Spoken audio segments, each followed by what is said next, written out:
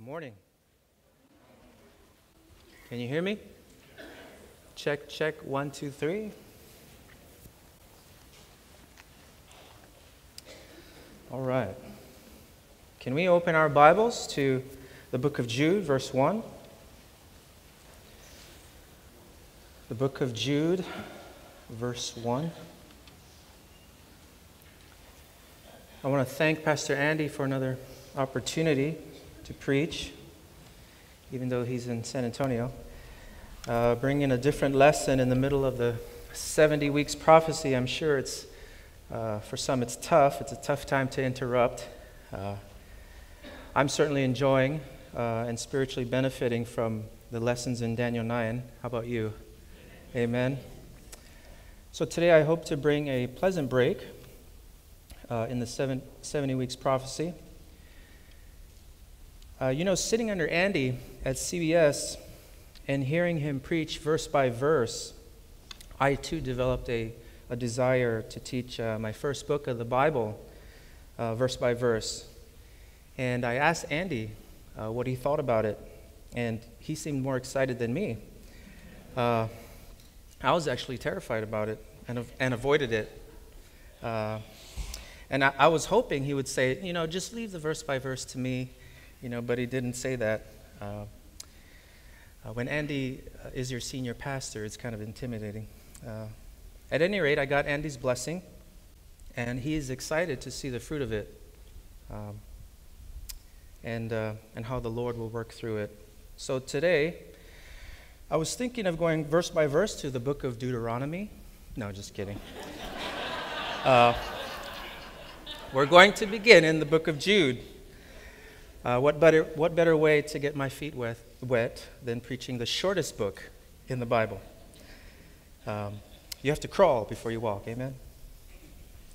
So, despite what critics say, the, uh, they say the Bible is not relevant for today and for our world today, they really don't have a, an idea uh, what they're talking about, right? The truth of the matter is that the Bible is nothing but relevant for us today.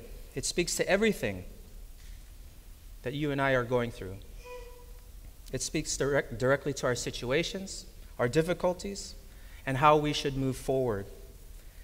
And so, as we begin to learn the book of Jude, we'll, we will see just that that the book of Jude speaks to us today, the 21st century church. It has a timeless message um, for us in our situation and therefore we should take notice. So, can we pray before we begin? Abba, Father, we glorify you this morning, uh, not, with, not with just our lips, but with our hearts as well. We acknowledge our utter dependence upon you and that we, and, and we give ourselves to the teaching of your word this morning. As we open the book of Jude, Father God, we thank you in advance for the truths uh, in it uh, we pray that we can learn, we can digest, and we can act on your word, becoming a testimony to the world and ultimately glorifying the name of Jesus. Use me, Father, uh, to deliver your teaching and bless your people today. And it's in Christ's holy name we pray. And God's people said, Amen. Before any study uh, of the Bible, it's proven that preliminary study and research surrounding a particular book is tremendously benefiting, beneficial uh, to your study, to our study in understanding any book, uh, in turn, giving you a better understanding of the Bible as a whole. This is called Bible study methods. And all we want to do here is ask a few preliminary questions uh, to get us familiar with the book, acclimated uh, with the book before getting into it verse by verse. Um, and so this is sort of an outline or direction we are going. We're going to ask eight questions. Uh, who wrote the book? Who was, who was the book written to?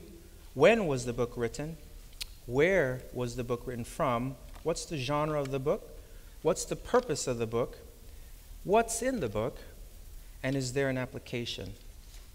These questions are an excellent way to get familiar with the book. I, I emphasize this to the youth group. We are currently studying the book of Philippians. And there is a reason why Paul wrote that letter.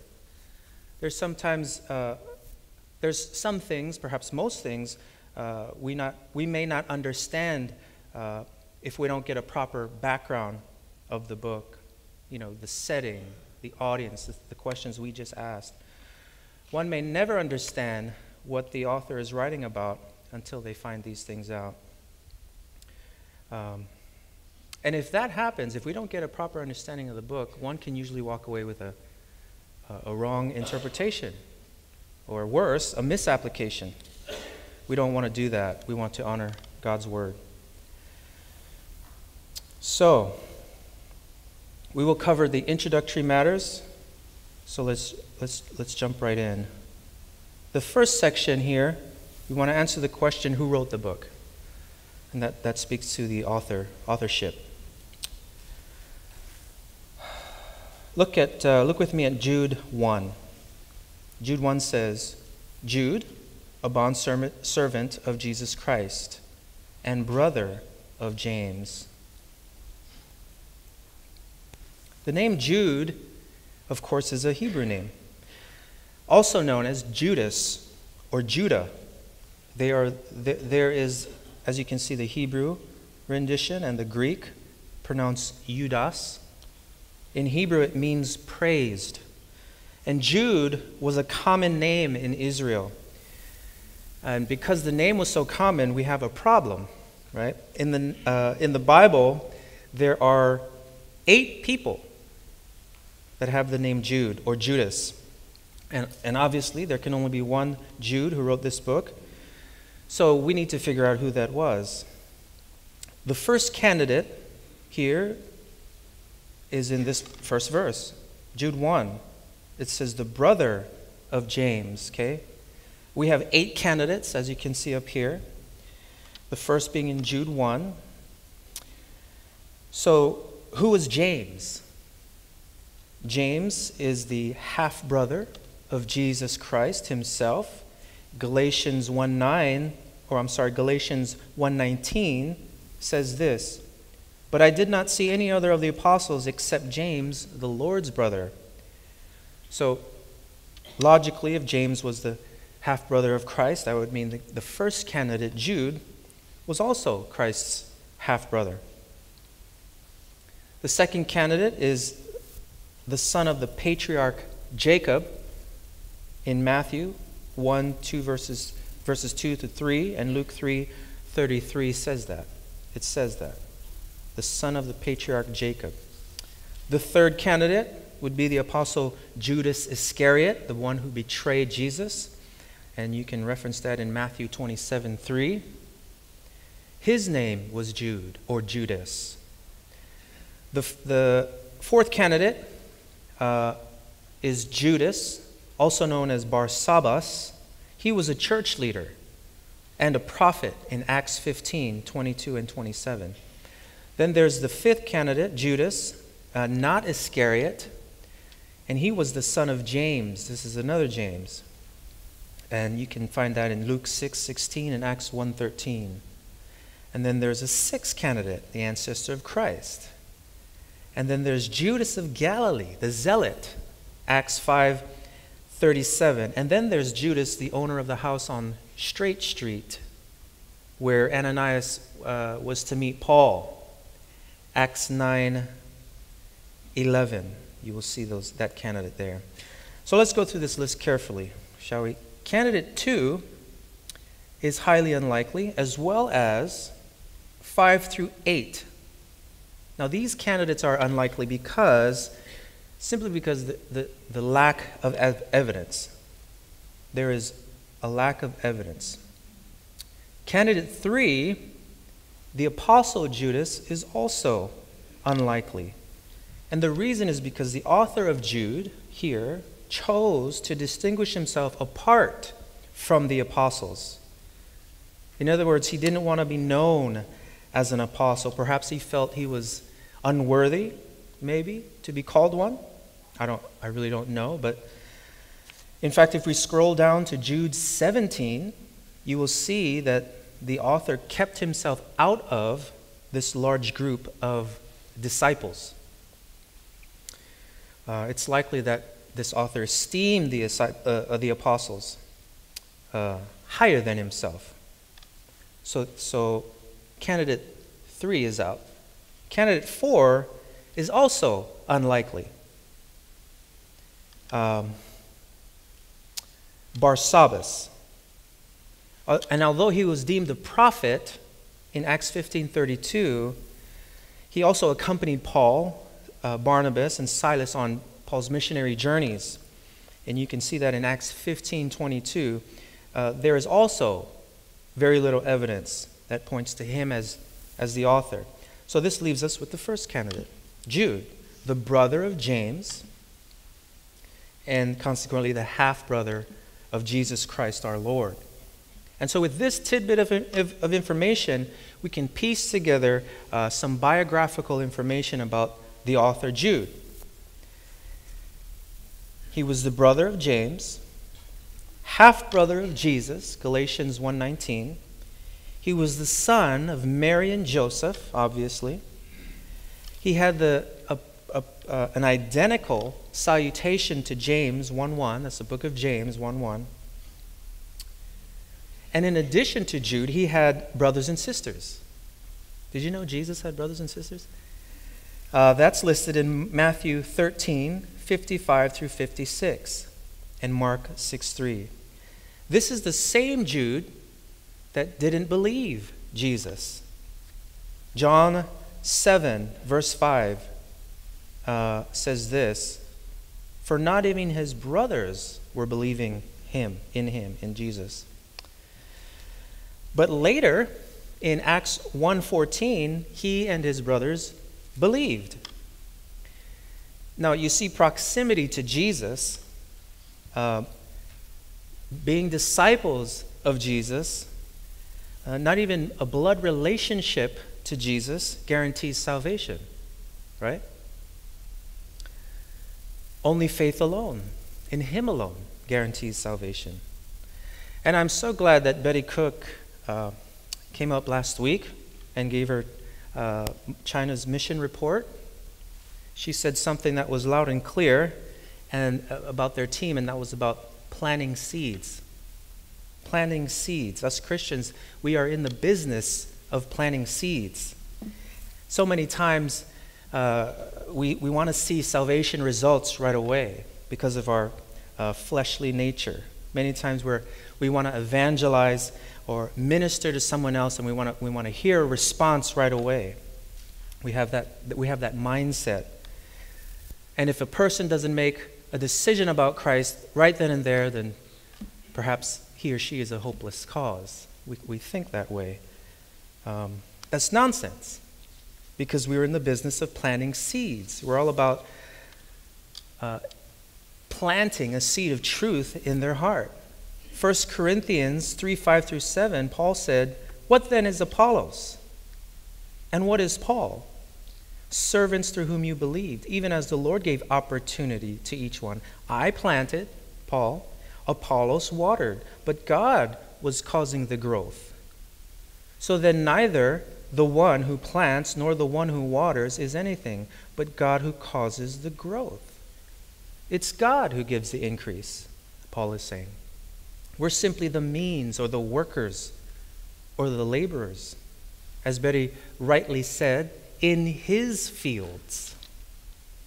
The job of Paul and Apollos was to evangelize to unbelievers, but also bring believers to maturity.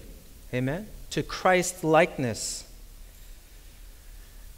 For me, I'm very thankful for those who um, had the courage to speak into my life in my immaturity, at the risk of our relationship.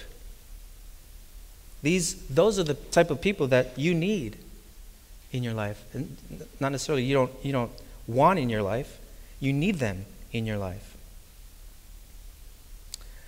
Uh, and when you speak truth, truth in someone's life, you notice that it never really goes well. Um, they don't really want to receive what you have to say. And it, it depends on their spiritual maturity. and teachability, right? It may take years for them to receive what, what you have to say, to fully understand the truth in, this, in their lives.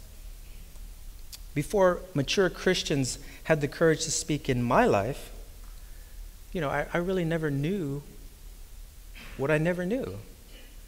So, you know, my flesh would lash out.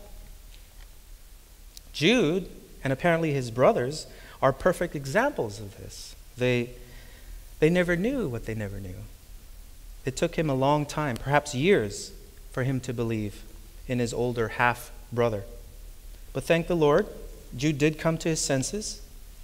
And in Acts, uh, Acts 1.14, it proves that. He believed. They believed. According to 1 Corinthians 9.3, Jude was married. And he took his wife with him to evangelize. 1 Corinthians 9 3 says that.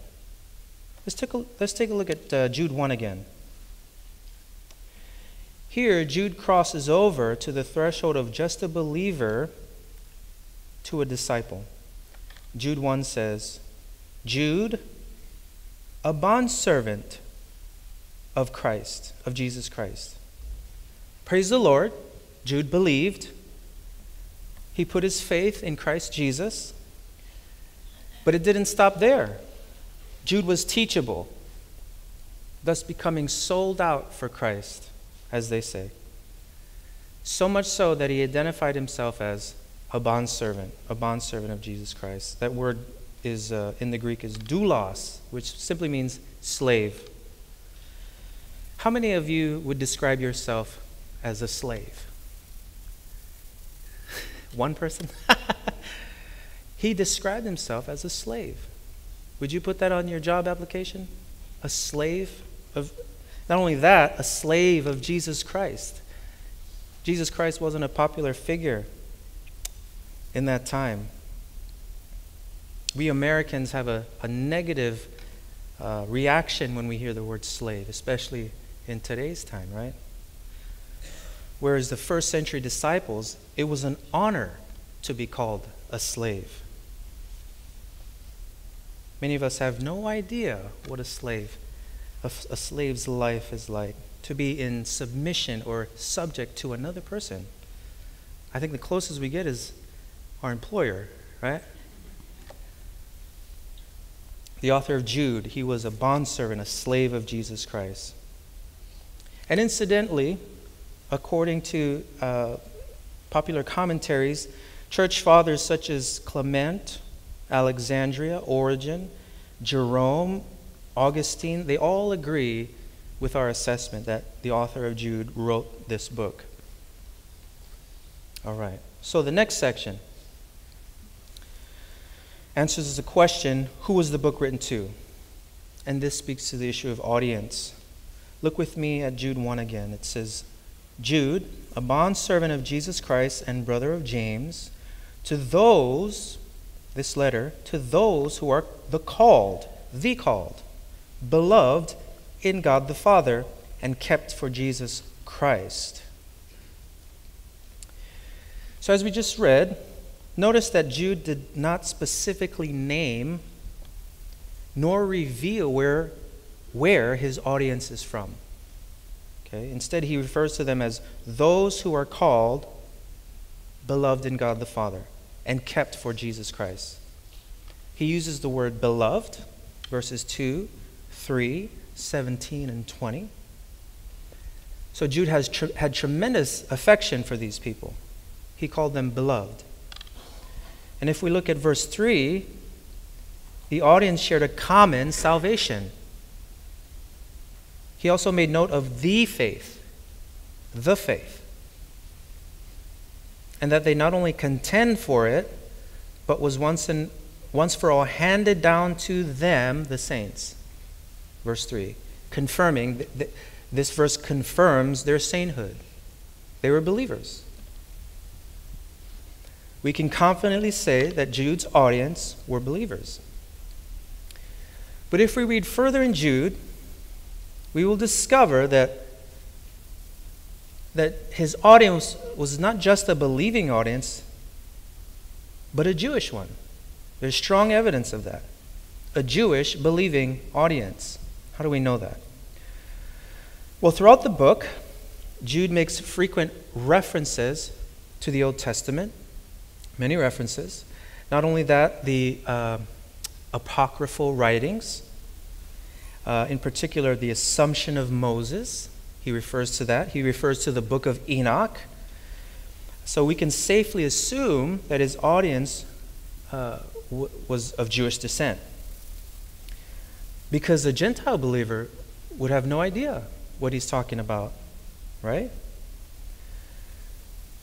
And we know that because Jude never offers an explanation. He doesn't clarify those references, the Old Testament or the apocryphal writings. He references the Exodus and the death of the Israelites in the wilderness.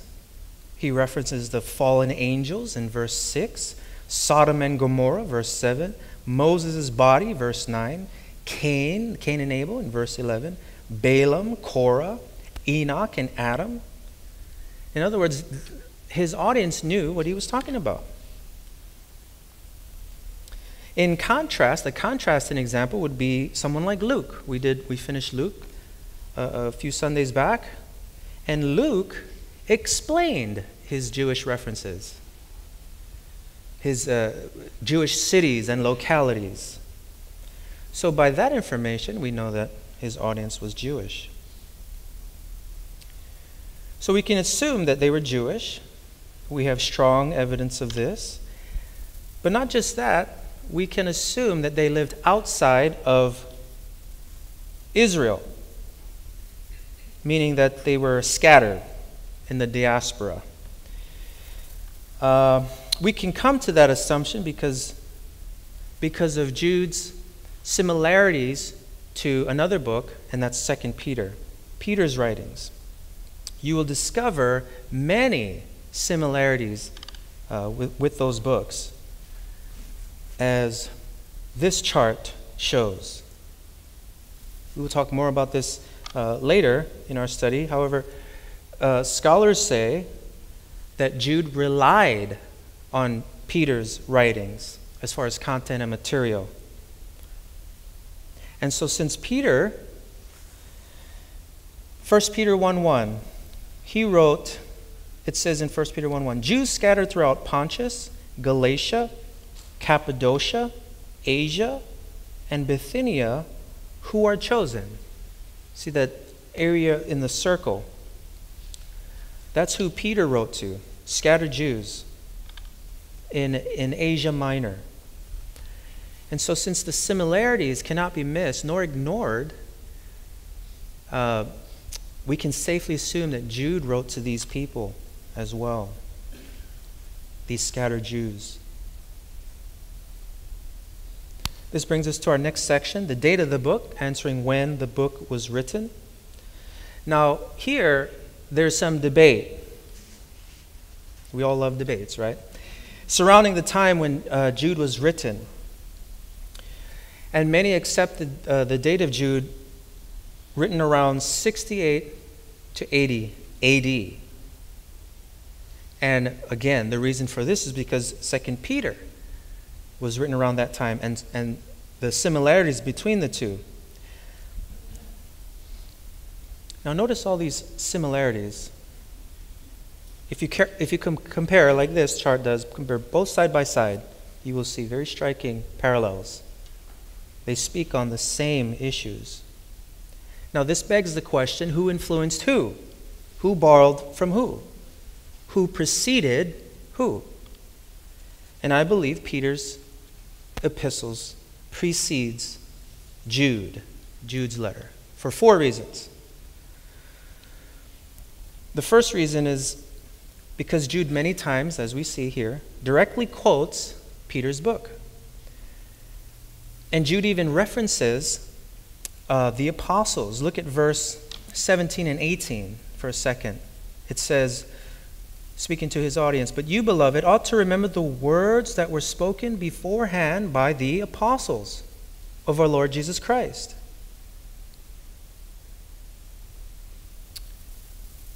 That they were saying to you, In the last time there will be mockers, following after their own ungodly lusts. There, Jude quoted um, 2 Peter 3 3. There's Jude on the right. Now, notice what Peter says 2 Peter 3 3. Know this, first of all, that in the last days mockers will come with their mocking, following after their own lusts. See that? He quotes Peter. Jude does. The second reason I think Peter preceded Jude's writing is because around the time of Jude's writing, uh, the destruction of Jerusalem either happened or was imminent. But Jude never mentions this, this destruction. Some may say that that doesn't prove anything, but I think it's very significant because the, the destruction of Israel was a very significant time in Israel's history. Very significant. The third reason why I think Jude, or Peter's writings precede Jude's is because Jude references other sources. He quotes, like we said before, he quotes Moses, Enoch, he quoted, he quoted the apocryphal writings. It was normal for Jude, for Jude to quote other people. So that would mean it, it wouldn't seem out of place for him to quote Peter, right? Peter's writings. And he can't really quote someone that went after him, right? That's the third reason. The fourth reason I think Peter's writings precede Jude is this. Notice the priority in this chart. Peter predicted and Jude confirmed. Peter predicted there will be false teachers. 1 Peter I'm sorry, 2 Peter 2 1. Jude reveals certain persons have crept in. Jude 4. Peter predicted many will follow these false teachers. Jude reveals they have already gone the way of Cain. Peter predicted that scoffers will come. You notice the will, there will, many will, scoffers will come. Jude reveals that they are already there. These men who, these are men who, so forth. You see that in verse 12 also in uh, verse 17 and 18. You notice the priority there? Peter, moved by the Holy Spirit, clearly made predictions. Then Jude comes, moved by the Holy Spirit, merely confirmed those predictions. Does this not speak loud and clear about the reliability when it comes to predictive prophecy? We're learning that in Daniel 9, aren't we? I think so. God means what he says and says what he means. So, given the book, uh, the book of Jude strong similarities to that of 2 Peter, we can safely assume that it was written around the same time as 2 Peter, around 68 to 80 AD. This brings us to our next section Location. And this answers the question where was the book written from? So, Bible students usually ascertain this answer from either internal or external uh, ge- geographical clues. And however, and unfortunately, there are none in Jude. There's no source that lends, uh, any other source that lends to the to clues as to where this letter was written from. Our best guess uh, comes from a trusted scholar uh, we all love, Andy Woods. He's an okay scholar, so I, you know. Uh, he says if Jude was written along with Peter's letters, then it could have been written from Babylon or Rome, because First Peter was written from Babylon. Another possibility is that it was written from inside the land of Canaan. Now, that's a large area which includes Israel. Um, which would make sense because his audience was scattered outside uh, of Israel. Or, yeah. So, three possibly Babylon, possibly Rome, possibly the land of Canaan. Short section. This brings us to our next section. One thing that stands out about uh, the book of Jude is its genre. What genre does this letter fall under? And we can classify this book as an epistolary sermon within the genre of oratory, or, or, excuse me, how do you say that? Oratory? Oratora, that word. uh, discourse, orat, oratory, discourse, because of its strong exhortation to its audience, an urgency to action. For example, verse 3 and 17 through 23 show that. Very strong exhortations. Let's look at verse 3 for a second. Beloved, while I was making every effort to write to you about our common salvation, I felt the necessity to write to you appealing that you contend So, being that Jude uh, did not present this orally, notice he felt the necessity to write, makes this an epistolary book in form. Another reason why this epistle stands out is because of its unique characteristics. Jude's style of writing, very unique, very colorful. He uses vibrant, very colorful illustrations and borrows from nature. You'll see that in the book. Uh, many figures of speech, like verse 12 and verse 13. He repeatedly re, uh, refers back to the Old Testament. He cites non canonical literature, as we just seen or discussed earlier. Uh, one thing to take notice that Jude uses triads all throughout this book. Triads are a group of um, threes, groups of threes closely related things or, or persons. He uses this method in his introduction. Notice Jude 1 Jude, bondservant, brother. All the way to his benediction before, now, and forever. Very unique. Uh, Jude's creative writing, uh, according to some scholars, become very unfamiliar to the modern reader even Christians. Uh, in fact, one scholar wrote a book entitling it The Most Neglected Book in the New Testament. That, that was the title of his book. Their readers are either puzzled or terrified of Jude's cryptic message. As, as he makes reference to all these uh, references Enoch, Moses, and others. It's an amazing piece of literature. Very short, very concise, and it demands respect because of its style, vocab. One scholar said, it's astounding brevity. Though through acquaintance with and calculated use of Jewish literary, literary sources, marshaled in a concise, well conceived polemic that simultaneously exhorts the faithful and warns the unfaithful. The genre of the book is epistolary in form.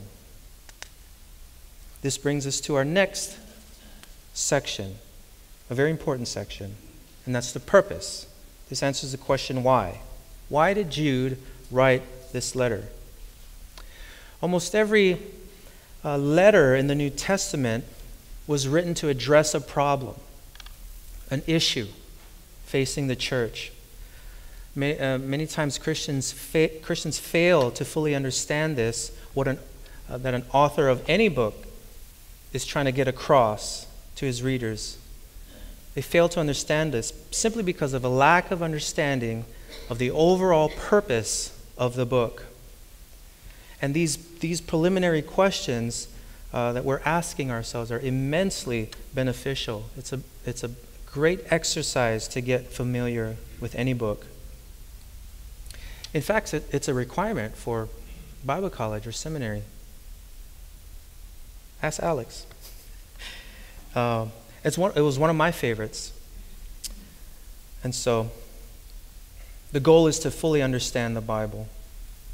That said, the purpose of Jude's letter is immediately found in his salutation. Look with me again at verse 3. Jude, verse 3. I felt the necessity to write to you, appealing that you contend earnestly for the faith. Please take notice of what his former subject was going to be a common salvation. He was going to talk about salvation. That's a pretty important topic, right? However, Jude felt it necessary to write about we believers contending for the faith. Why would he want to write about such a topic as contending for the faith? Look at the following verse. Verse 4. For this is why for certain persons have crept in unnoticed. The purpose of the book was to warn his fellow believers of these false teachers. Now remember, Peter predicted and Jude confirmed, right? It became a reality. These false teachers were in there. Contend for your faith now, he said. Why is that? For they crept in. For certain persons have crept in. These were false teachers, false believers, perhaps false prophets. We call them apostates, heretics, sheep in wolves' clothing, slithering in the ranks of believers, unnoticed unnoticed. I have a question. If Peter predicted these in the first century and Jude confirmed these prophecies shortly thereafter, I wonder is the church now filled with false teachers? These persons. And you know what else concerns me? Notice the word unnoticed. They have crept in unnoticed, not observed, given no attention, given no mention, undetected. The church was not aware nor alarmed. They did not discern them.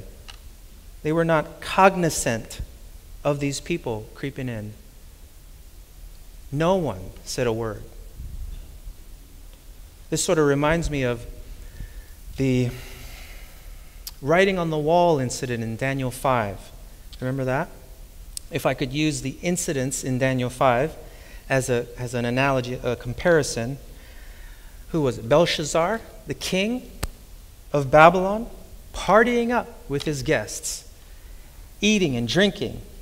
And then the fingers of God writes this, writes this cryptic message on the wall for Belshazzar and his guests to see. And then Daniel was summoned in to interpret the writing. And he basically revealed that the king's kingdom was going to be stripped away. Just like that. And, here, and here's the comparison I wanted to make the Medes crept in unnoticed, undetected, without any battle. There was no war. In other words, they crept in unnoticed. And I think Jude is revealing something similar here. They're creeping in unnoticed without a fight. Does that mean the church was asleep? Partying it up? Not vigilant or alert in their posture? Or worse, did these believers begin caving in, believing these lies, being devoured by apostates? This is the reason why Jude said, contend for the faith. Not just contend, contend earnestly. I think the answer is yes. That's the reason. The word contend there in the Greek means to fight, to do battle, to war.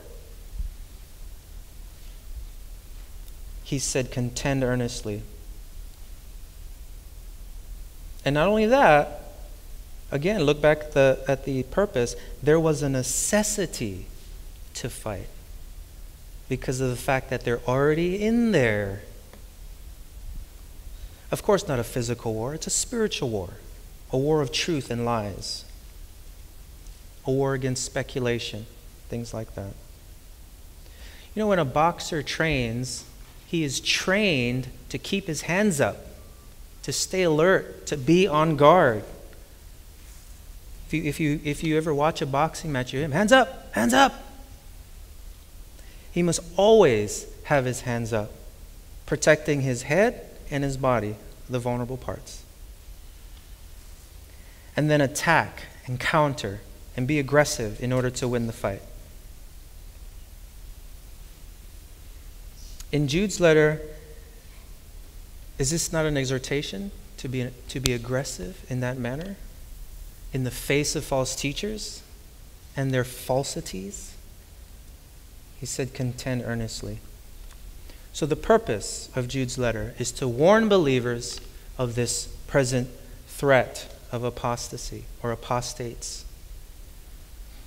Peter predicted it, and Jude confirmed it. Look with me at uh, Jude 3 again. Jude, verse 3, there's the purpose statement. And I encourage you to highlight this and underline it. This is a, this is a key verse. It says, Beloved, while I was making every effort to write to you about our common salvation, I felt the necessity to write to you, appealing that you contend earnestly for the faith which was once for all handed down to the saints. If we could uh, capture the purpose of Jude's letter in one statement, it would be to exhort believers to earnestly contend for the faith in the face of apostasy. This brings us to our next section. Oh, there's the, uh, the wolf in sheep's clothing.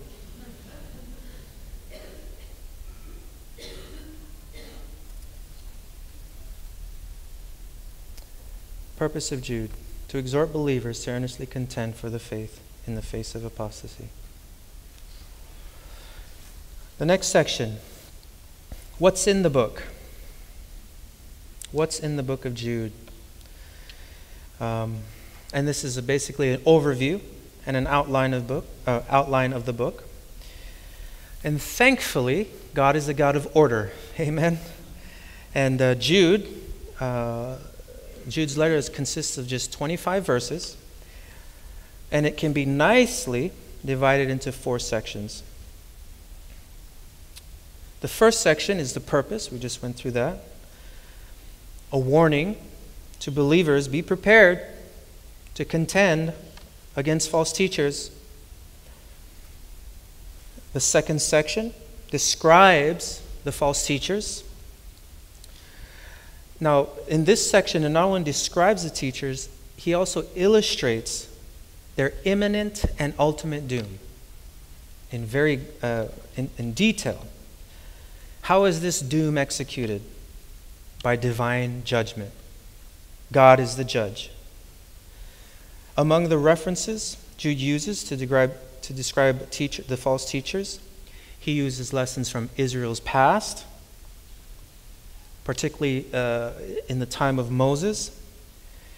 Jude takes lessons from the angelic rebellion. Remember that in Genesis 6? He uses lessons from Sodom and Gomorrah.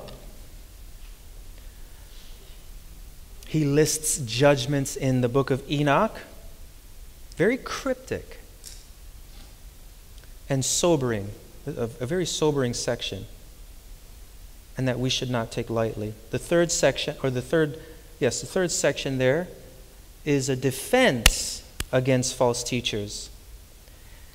In other words, what do we do as believers? What do we do to insulate ourselves, protect ourselves from these false ideas and false teachers? A very interesting and very eye opening section. He teaches, how to, he teaches us how to treat other believers as well who may have been affected by false teachers and their ideas.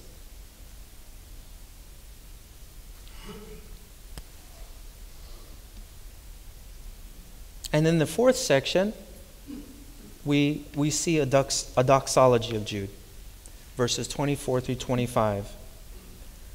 A very important aspect for us today that everyone should be doing, myself included, and that is we should be giving praise to God in the midst of this apostasy. Look at Jude 24 and 25 it says, Now to him who is able, now, in light of the false teachers that are among us, now him who is able to keep you from stumbling and to make you stand in the presence of his glory blameless with great joy. To the only God our Savior, through Jesus Christ our Lord, be glory, majesty, dominion, and authority. Jude rightfully gave glory where glory is due which is what we should be doing. In these times, Peter called it the end times. In these end times, or last days, giving all glory to God.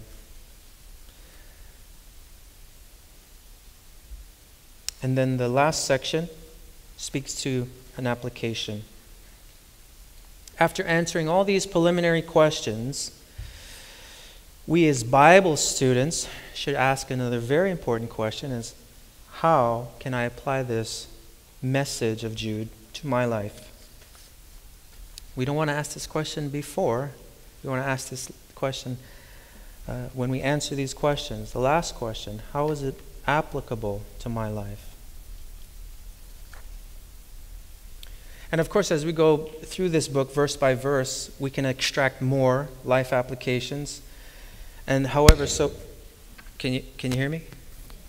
Um, the information that we just learned and discovered by asking these questions, we can generate a general application for us to go home with. And so, knowing the purpose of the book, I love how uh, one scholar summarized uh, an applicational value. He said, he said this about the book of Jude. The book is a solemn warning to Christians everywhere, since all are subject to the same doctrinal and practical errors. Though its theme regarding apostasy was well specifically was, was specifically directed to first century Jewish Christians, its message is applicable to all Christians. All believers need to avoid the pitfalls of denying Christ's lordship promiscuously following the fleshly desires, rejecting authority, being divisive, and living for self. Apparently, these false teachers were promoting those ideas in Jude's time. And so there's a, a very loud and clear message that Jude is conveying here. And it's the frightening reminder of the recurrent dangers of error, of rebellion, of apostasy, and of judgment. Also, that false teachers will by no means escape from divine judgment. Divine judgment. There's past and present examples to prove that. The polemic against false teachers should not be missed. It sticks out like a Thor, like a Thor sore thumb. And Jude exhorts his audience to remember these examples. He fluently illustrates the tension between the two, the ungodly and the godly. And that should not be missed as well. And it's amazing how Jude does that. The ungodly is reserved, and the godly are kept for their appointed end. According to Jude, apostasy is linear. There's a progression. It moves from deception, as in the example of Cain, verse 11. And then it moves to error, as in the example of Balaam, verse 11. Then to destruction, also in verse 11. He uses the example Korah. And that's why in my prayer times, um, I have committed myself to pray for the leadership of this church. When I pray for Pastor Andy or Pastor Jim, the elders, Carol, Casey, uh, as, as well as for myself, I pray that the Lord keeps us from compromise or from false ideas or false influences. As, because we've seen throughout church history that once that anyone or any group is susceptible to apostasy. Apostasy, falling away from known truth. And I'm sure you guys agree. For me, I, I, I love the teaching that comes from this pulpit, that comes from Pastor Andy. And I pray for Pastor Andy. Because once false ideas fill the ranks of the leadership, it's just a matter of time. It's just a matter of time. I pray that we all get serious about praying for our leadership in that respect. So, as far as a general application, it's loud and clear. Jude desires for us to grow spiritually, verse 20. Grow spiritually. Be number 2, be assured of your salvation. Verse 21, verse 24 through 25. And also help the weaker believer. In this case, those who are in doubt, those who have fallen because of false teachers. So, by way of review, who wrote the book? Jude, the brother of James, half brother of Jesus Christ. Who was the book written to? Jews scattered in Asia Minor. Who was the book written, or when was the book written? Between 68 and 80 AD. Where was the book written from? Possibly in the land of Canaan or Babylon. What's the genre of the book? Epistolary in form. What's the purpose of the book? To exhort believers to earnestly contend for the faith, the faith, in the face of, the, uh, of apostasy. What's in the book? A present threat of and a defense against false teachers. And is there an application? Yes, there is. Grow spiritually, be assured of your salvation, and also to help those who doubt. Apostasy is real in the world and in the body of Christ. And it ought not be taken lightly. Amen. I remember when I was a, a child visiting my my grandparents' house in uh, Kahalu on Oahu, the island of Oahu, on the weekends with my family. Uh, my grandparents lived near the mountains, very green and lush. Uh, they lived in an old house, uh, creaky, creaky floors. And so they, uh, I could remember the, the faint smell of mustiness. It's just, it's old. Um, he had chickens in the background, always making noise. Uh, I remember running through the house without a care. It was my, grand, my, grand, my grandparents' house. I love them. Um, but I was instructed by my grandpa never enter the back room. Never.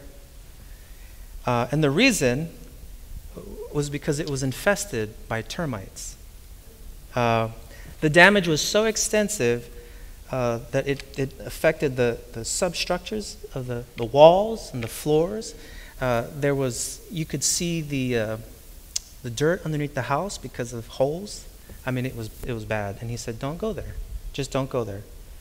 Um, they had to fully reconstruct and renovate uh, that section of the house. But the termites had crept in unnoticed, silently wreaking havoc on the structures of the house and uh, compromising the, the, the whole integrity of that house. And that's the picture that comes to mind when I, when I consider Jude and the false prophets in Jude.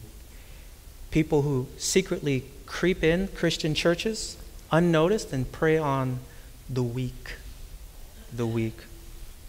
They impose their will and speak uh, with their selfish intentions and speak lies concerning Christ and his church, trying to advance their, their uh, godless agendas. And like termites, false teachers affect and infest the substructures of the church. That's the leadership, the congregation, things, things of, that na- of that nature. And eventually, if not treated or eliminated, the house and everything in it falls. I'm excited to embark on this expositional journey with you. This will be my first time going through a book verse by verse, so please pray for me. I would greatly appreciate that. Uh, you know, the book of Jude reminds us that Jesus Christ is able to keep us from stumbling in the ways of the false teachers. He is able to make us stand in his presence, blameless. Scripture says, blameless with great joy. But what about the unbeliever? Well, he doesn't have those benefits. Right? The Bible says they are enemies of God. That's not a good position. and there might be some of you who uh, may not have a relationship with Jesus Christ. Um, instead of an enemy of God, how can I be a child of God? And that's Plain and simple. It's a relationship with Jesus Christ. And how do I get into a relationship with Jesus Christ? One thing believe. Believe in the gospel. The gospel is Christ came, lived a perfect life, died for our sins and yours. He rose on the third day and ascended into heaven. That's the gospel. And, if, and when we believe on that, the Bible says we have transferred from death into life. And I encourage you to believe as best you can. Believe on the gospel, and you will be saved. The Bible says today is the day of salvation. I pray you are doing that. If you are still confused about it or need some assistance, I'm available to talk after the service. Shall we pray? Heavenly Father, I thank you for, uh, I thank you that your word is settled and your word is sure. I pray that this, from this day forward, we take your word serious as it pertains, contending earnestly for the faith and about false teachers. Keep us from the snare of the devil. Cause us to remember your word and live out your word and trust you for, your, for our provision. We love you and we give you all the praise in Jesus' name. God's people said, Amen.